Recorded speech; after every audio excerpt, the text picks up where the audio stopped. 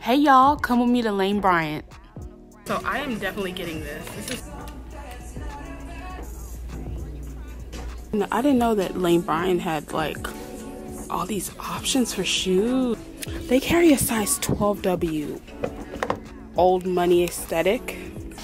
These are so cute. All this clearance. $200. So we're not gonna be a trench girl today. We're gonna be a thrifting girl.